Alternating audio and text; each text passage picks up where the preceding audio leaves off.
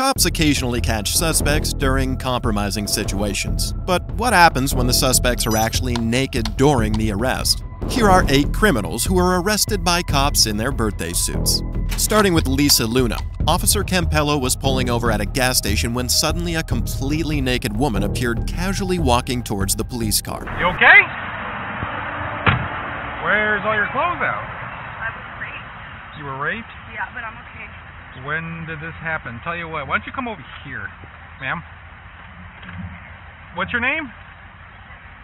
Hey, can you come over here away from the crowd and talk to like a jacket or something? Stand right here. I'll see what I can get for you, alright? Although her cold behavior seems very strange, it could have been just a shock reaction to a traumatizing event. The cop focuses on saving the damsel in distress and is way less cautious. He went to grab a blanket from the back seat so that Lisa could cover herself. However, when he got back around the car, the unthinkable happened.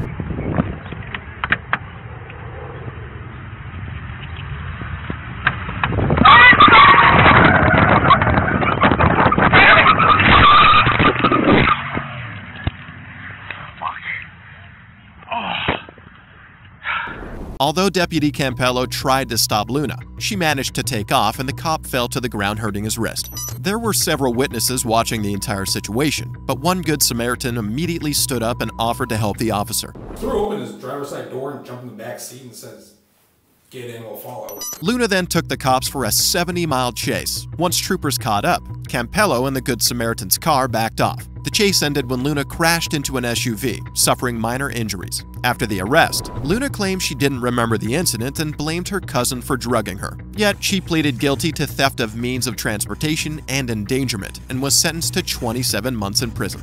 But even though Erin Holdsworth's arrest was slightly less dangerous, it was equally as revealing. 28 year old Erin was caught going 128 miles per hour and refused to stop for the signals. The officers had to use stop sticks to puncture the car's tires, putting the chase to an end. Step out of the vehicle.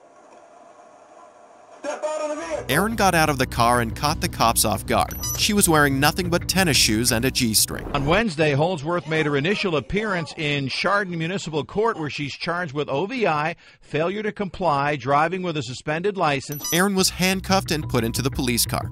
Then she suddenly became combative and attempted to kick the cruiser's back window. Erin has been convicted on charges of operating a vehicle while intoxicated, driving with a suspended license, and fleeing and eluding, and spent 18 months behind bars. But Carmen Matache put on a much more dramatic scene.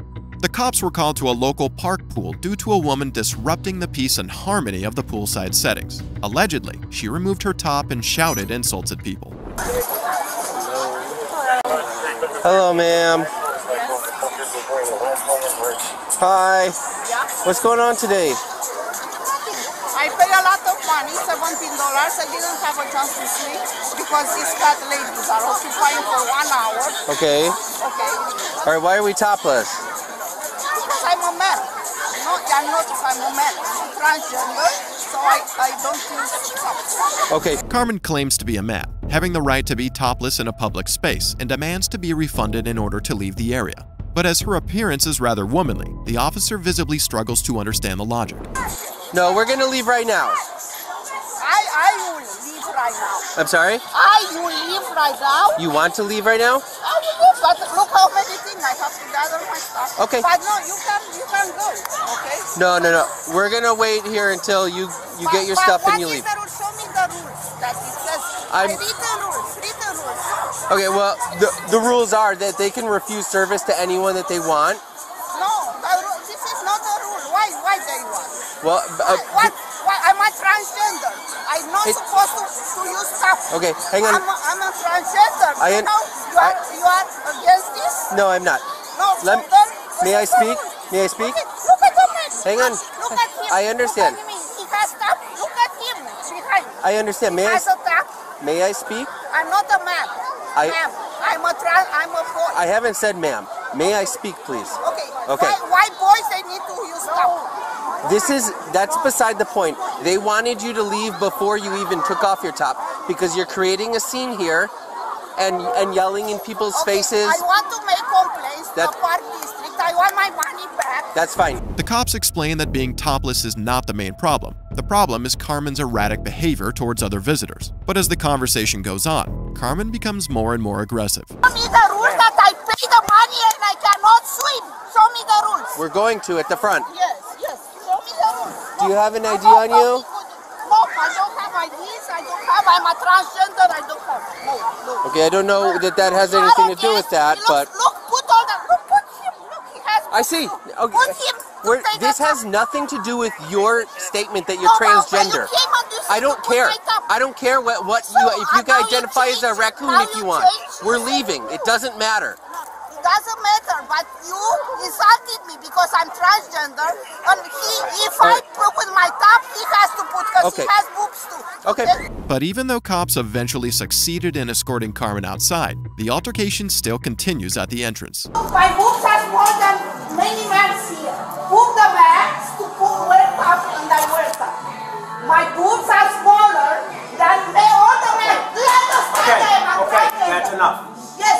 enough. Yes. Carmen assertively demands a refund of $17. The process takes a bit longer than expected because the cashier hands back only 16. Carmen then engages in a dispute with the cashier, claiming discrimination based on her transgender identity. However, the situation is clarified when the police officer sheds light on who actually discriminated against whom.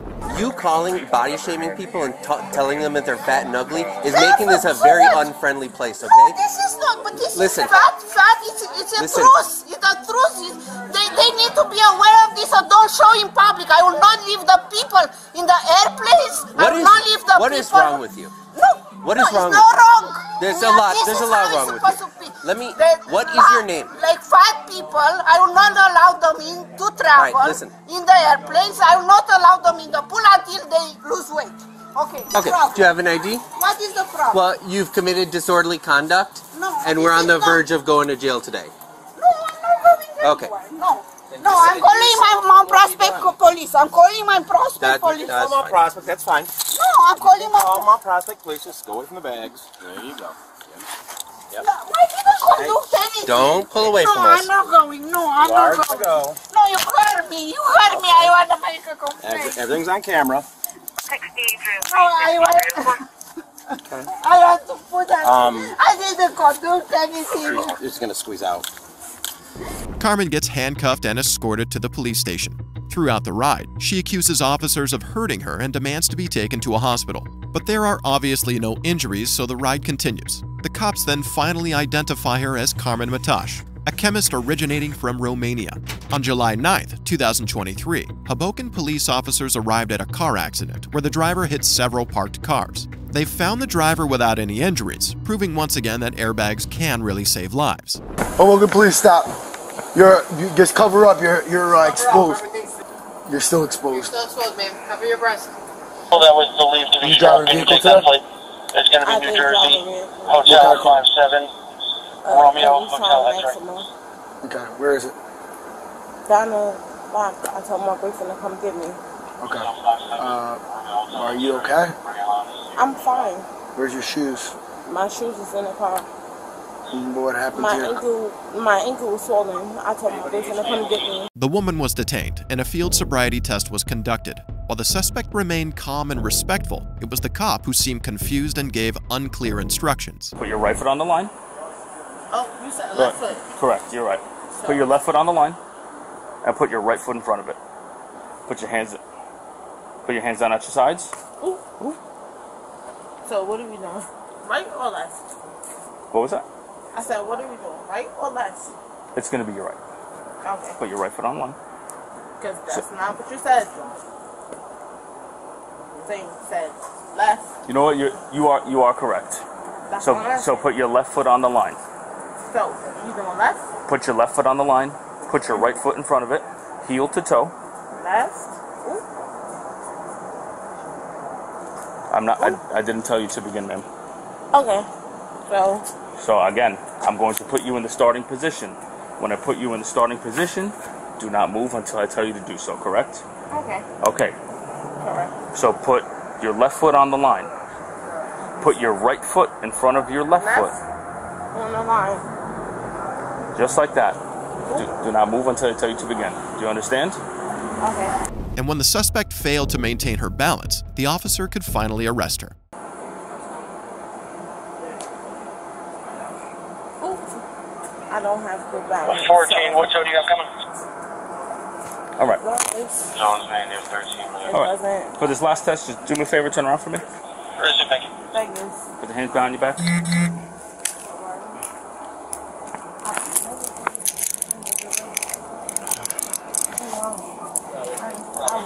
Here.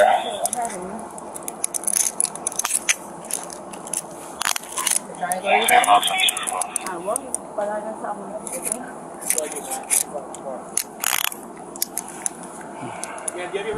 A search of the vehicle revealed open containers of alcohol. The suspect was then taken to the police station, where she tried to explain that the bottle was already empty when she sat behind the wheel. Not so surprisingly, this didn't protect her from arrest. Charging me the DUI, right? That's correct. That bottle right there, right? Bottle of pool is not ounces. But, Oh, you want me to? Uh, yeah, put, put your firearm away, please. But also, it's a bottle Yeah, for right now. that's in, like, You just step right inside this room, okay?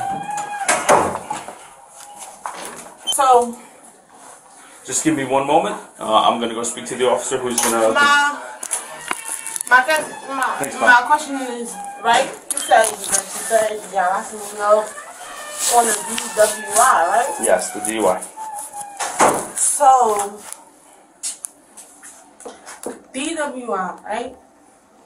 Yeah, I took a bottle that was empty Okay. in the vehicle, Okay. but yeah, I also took a, a bottle that was not open. You gonna search her in again? vehicle. Okay. While this cop may have landed his biggest bust in his career, the same cannot be said about officers who stormed into the home of Anjeanette Young. The Chicago Police Department officers burst into her home and handcuffed her while she was naked. The cops utilized a no-knock entry, but the problem was, they had the wrong house. Now, how can you take photographs of my house and don't tell me what you're looking for? You got the wrong house. You got the wrong house.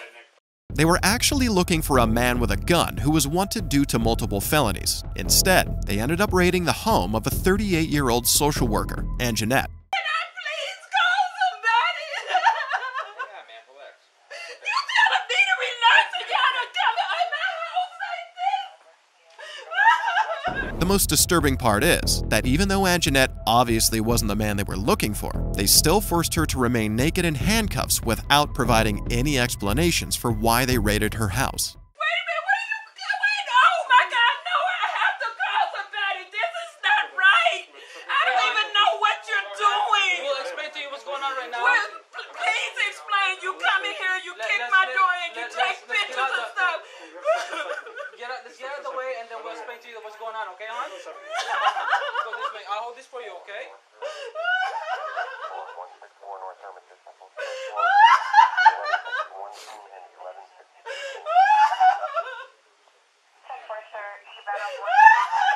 How can I relax when this is going on? You keep saying in a minute and you guys have kicked my Ma'am, door I'm gonna in. explain everything to you in a moment, okay? We You just need to keep get our, saying in a moment, tell me what's going we on. need to get all our photographs completed before I sit down Now, this how phone. Can you take photographs of my house and don't tell me what you're looking for? I will explain that to you in a moment. I'm gonna give you Tell me now. well, okay? Tell me now. You got the wrong house. You got the wrong house. You got the wrong house. Sergeant Wolinski, who oversaw the raid, finally realized they might be in the wrong place. Only after seven minutes of Anjeanette crying and screaming, he orders his men to leave the house to clear the situation with the suspect. It turns out the man they were looking for lived in the house four years ago. Correct? Yes. Okay. This is a great. Who is you looking for? Four years and nobody lives here but me. Okay. Okay, you don't have to shout. I don't have to shout. This is fucking ridiculous. You got me in here because I'm naked. You kicked my house in. And I keep telling you, you got the wrong place. Okay, ma'am. No, I don't want to hear it. I need, let me call a lawyer. Let me call somebody. No, no, you need to let me call somebody right now. This is not